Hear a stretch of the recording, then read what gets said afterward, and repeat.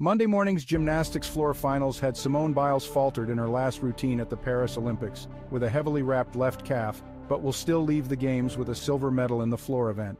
Fellow American Jordan Chiles came through with a shocking bronze medal, even though celebrations had already begun with another athlete.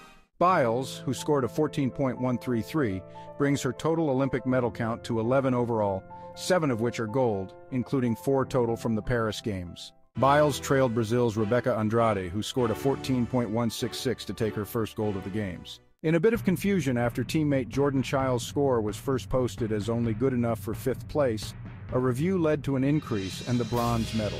Romanian Ana Barbosu had already begun celebrating the bronze before Chiles' adjusted score was posted.